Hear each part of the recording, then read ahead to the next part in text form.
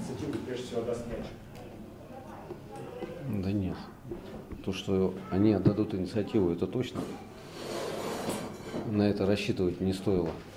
А, При подготовке к туру мы понимали, с каким соперником нам придется играть, но а, не хочется а, выносить некоторые моменты, опять же которые случились у нас при подготовке к туру, и это наша внутренняя кухня.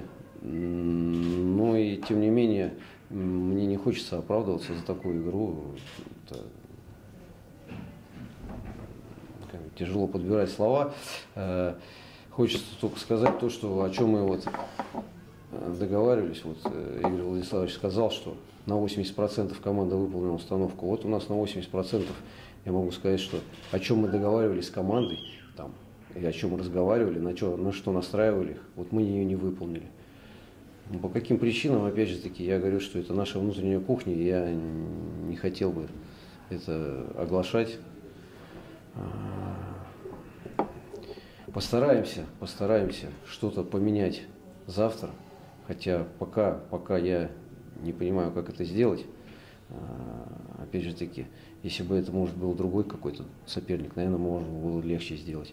А, Поэтому, наверное, Тюмень находится на том месте, на котором он находится, что тяжело что-то будет придумать нам, но тем не менее я все равно буду настраивать ребят выходить и на игру как на последнюю, отдавать все силы, насколько это нам получится. Ну, посмотрим завтра.